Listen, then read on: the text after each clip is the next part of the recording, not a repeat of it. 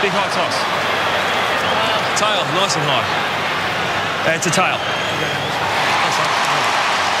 Cameron Ling wins the toss for the Cats. He'll be kicking to left of your screen or the punt road end in the first term.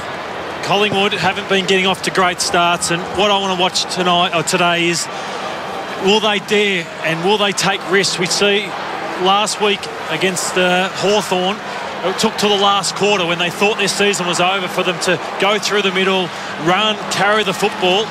The shackles have to be off early, Dust. Uh, they cannot uh, let Geelong get off to a good start like we, that. We know the Cats are still the number one corridor team in the competition, so they will do that.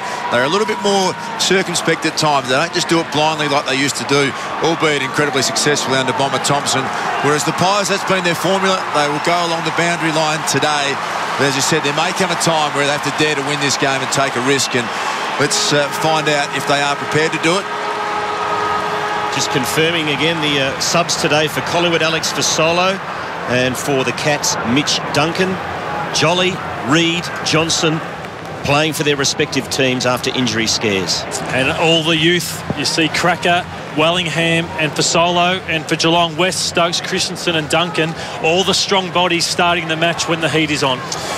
Paul Chapman up forward for the Cats. There's Nick Maxwell just, just striding his way back into the defensive post as you would expect. Lingy lurking around the centre of the ground at the moment for Geelong. Thomas starting forward, Das. Yeah, he's done that a little bit throughout the year. And you'd expect him fairly quickly to drift up. Alan Didak gets a start. He's been the sub for the first uh, two finals. We know that he's psychology in that, Das. I think it's great for him. He's a match-winning player who hasn't had a great year. It's fair to say. They put him straight down to the goal square, and Matty Scarlett's going to pick up Alan Didak right on the fullback line. That's where Lonergan's role is so important on Chris Dawes. He has to hold up, hold together to allow Scarlett to be released. 2011 AFL Grand Final is underway. Collingwood versus Geelong. At the first bounce, it's Jolly against Ottens. Jolly got the tap. Ottens fed it out to Selwood. Straight away off to Varcoe. Varcoe can go all the way. Runs to 45. Travis Varcoe! Oh, what a start for the Cats! And it's his opponent, Leon Davis, is the matchup and not the start to a grand final Leon Davis would want.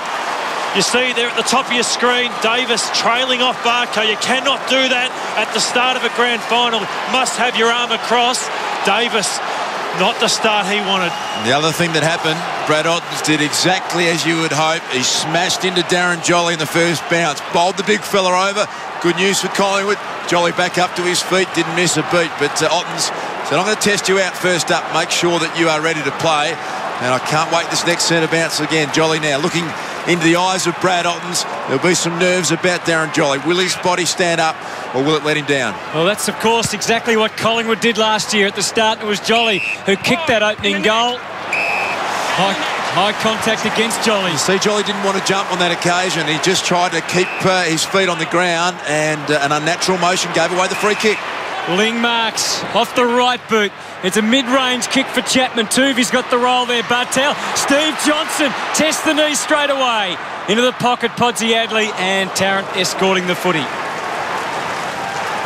So Two. you see that, yeah. took his eye off uh, the contest, hand in the throat, and he uh, saw the first one coming. Ottens got hold of him, just didn't want to allow that to happen again. Davis plays on. Gains about 40 metres, shanks the kick, went straight to Selwood, a tough one to control. Here's Mackie. High ball. Deep into attack. Flying third man up was Tarrant. Does the spalling work. Maxwell. Throwing his weight around is Hawkins. Here's Selwood. Quick snap. Ball smothered. Tap. Podsiadly goes to try and hack it off the ground for a goal, but only succeeds in getting it behind. We saw Hawthorn last week put so much pressure on Leon Davis, and he's kicking out of defence, and we saw him shank that first one. They needed inside 50, the Pies. Yes, some sign of nerves. That's the safety first option around the wing. And Geelong knew where the footy was going. Bartel kills it, and it's out. Conditions at the moment are actually uh, good. The rain isn't falling. It's uh, overcast, but we've had so much rain overnight. You saw that last ball from Podsiadly. It was a half a fumble, but uh, Slippery still under feet. Yes, the sun belying the true conditions, you would think Johnson hacking it forward for the Pies. First chance to have a look at how their forward line will function. That'll boost the confidence. Cloke marks. Didak's deep one-on-one. It's set up for him. Working hard back doors. Could have been some infringement on him, but the umpire waves it on and says, no, it's Scarlett's ball. And you've seen this plenty of times. Mackie peels off and the Cats dash out of defence. Wojcinski back to Mackie. He's in stellar form. Kicks into the middle. 12 months makes a big difference for Andrew Mackie. Corey kicks to centre half forward. That's Wayward. And all hands on deck for the Pies. Cloke getting back to take the intercept mark. Steading and then sets a bit of a task for Thomas. He was up but couldn't complete the job. And the Cats will go forward through Bartel. He spots up Johnson, who's got a bit of room here. Weighs up the options. Beautiful chip pass to Varcoe, who can go back from 45 metres and kick his second. That is why you are so excited if you're a Geelong supporter that that man's playing. How about the vision there? It's almost a look-away kick. Uh, this is the one before that worried me. It was a kick to Alan Didak on Matty Scarlett as the key forward position. Scarlett's going to win 9 out of 10 of those. Got to make sure Dawes is in that contest and brings it to ground. Travis Varcoe celebrated his 100th game with a goal in the opening seconds of the grand final. Now he can double that effort. It's coming back. Cats have got two.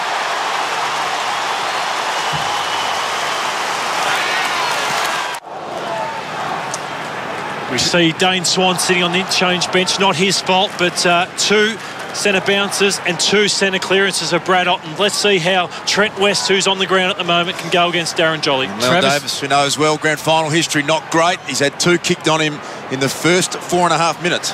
Travis Varcoe hadn't kicked a goal in a grand final until today. Now he's got two, and the momentum early is with the Cats. Selwood's a hard man to restrain. Kelly drew some high contact also. No, it's a fend off. Okay. So it's the Collingwood ball. Hey, got a blue on behind play. Here's a fair bit going on. Play Tarrant. goes on. Krakouer gives to Davis. Out wide. Makes it really difficult for Dawes. Gets the bounce he was after. Thomas only had a split second to make the kick. Got to Cloke. Not quite the mark. It is difficult conditions for forwards. It's over and out. Yeah, this is happening uh, behind play, and you can see the top of your screen there. Maxwell just dumps Stokes to the ground. Podsiadly gets involved. I don't think that little uh, fracas did Maxwell's thumb any favours either. Gets up a little bit gingerly, faving that hand. Thomas in an impossible pocket. Kicks it out of bounds on the full. Yeah, just as he went to grab the jumper, might have done a little bit of damage, of course, playing with a broken thumb. He got that just before the final started for the Pies, uh, the upside. Travis Cloke looks really sharp early in the game. They need to keep him as close to goals as possible to put some scoreboard pressure on. Bartel Podsiadly climbing but not marking. Jolly improvising. Pods goes at it again and again. But they've got him covered here. Brett Rosebury goes for the whistle. Yeah, I'm just keeping a close eye on Darren Jolly as Leigh Brown warms up. Interestingly, Brad Ottens has got off for a rest, and Leigh Brown putting his hand up saying, Hey, Joel, it's my turn. You need to get off. And that kick around the body, and he just looks tiny bit uncomfortable after it. So Trent West enters the fray as a ruckman. Jolly heaves it onto the boot. Didak didn't get the bounce he was after. Kelly leaves it for Krakouer. Slick. G. Thomas really wanted it, and he made use of it too. Finds Luke Ball. It's say beyond his range normally, but this year, and just of recent times, he's been able to kick the clutch goals. Harry O'Brien's just lurking behind in, in case he feels the need to lay it off. Yeah, he's kicked 17 goals too this year, does. Sorry, just looking at Darren Jolly, uh, Lloyd, he's got up. Uh, his left knee trouble before he came into the, uh, the, That's the thing that's hurt him most of the year. That's sore, and he's currently limping as I keep uh, the binoculars on him. Eight straight from set shots. This will really test him. It's straight. Is it far enough? No right on the death. And just while that shot was happening, Alan Didak's been taken off the ground. Leigh Brown's come on. He's often the matchup that goes to Matthew Scarlett. Here's Gold Coast, oh, goal cam, and we see the Trent West spoil. So Leigh Brown will probably go to Matthew Scarlett now. So some worries for Collingwood early. Hunt brings the ball back into play. He looks for West at the back of the pack. Johnson. Kick ricochets off the knee of Chapman to the wing. Here's Stokes. To Kelly. What a year he's had. He pumps it long to a one-on-one. Hawkins against O'Brien. O'Brien way too good. Played in front and took the mark and showed the customary dash. He kicks back to the wing to Sidebottom. Can't to break the Wojcinski tackle. It was a beautiful tackle. Held the day for the Cats and then gets the free kick. That is a big win for David Wojcinski. Absolute huge play there from Wojcinski. Not only the tackle, but to get the free kick afterwards. Fantastic early in a grand final. So Wojcinski from half back. Settles on half forward and Hawkins! Oh, what a mighty leap. Couldn't drag it down. Goes again, Reid. Equal to the task. The Pies crash on in. Shaun Ryan holds the whistle and eventually calls for another bounce. Here's another look at what the goal umpire was looking at. There was nothing in it. West climbed the highest. And he climbs again over Jolly. Trying to sweep through with Selwood, but Wellingham to ball. you got a feeling he is going to be a prime mover for the Pies today, as is that man Cloke crashing in. Been a great start to this game for the Cats. Uh, look at Sharrod Wellingham just come in and uh, a little well-placed knee there to the uh, back region of uh, Stokes. Kelly, great clearance to half forward. Davis couldn't snaffle it to the 50. Johnson. It's a wild old handball. Came off though to Stokes. Ducked out of the tackle. Squaring kick. Tarrant's there for Collingwood. Under a fair bit of pressure. Back to Reid. Reid to O'Brien. Now Harry O'Brien measures the kick, shorts it to Ball, to Davis, to Krakouer.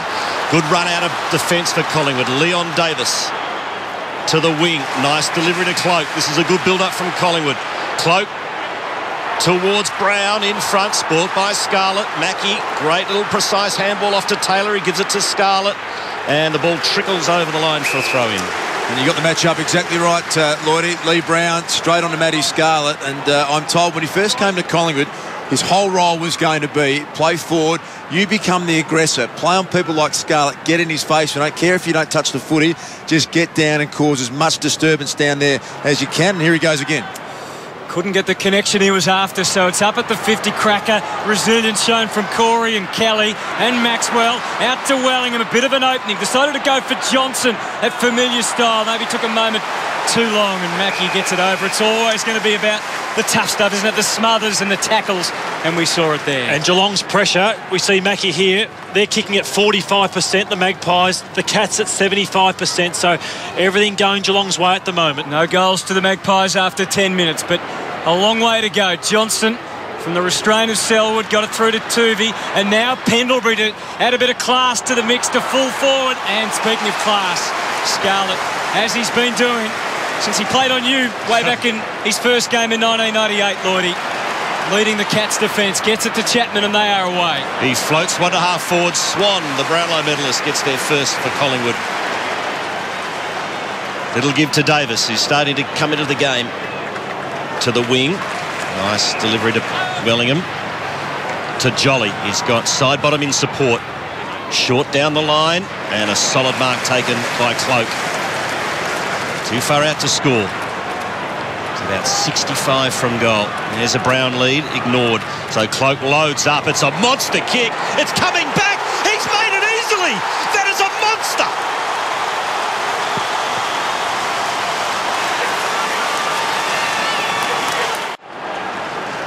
Oh, he's had a huge year, Travis Cloke, and he gives you confidence if you're a Collingwood supporter. That was a massive kick. It's travelled 60 metres. He's taken four marks had three inside 50s and kicked the goal in the first 12 minutes. And he hadn't kicked one on Harry Taylor in the previous two encounters, so that is a huge boost. Christensen enters the fray and gets the Cats forward again.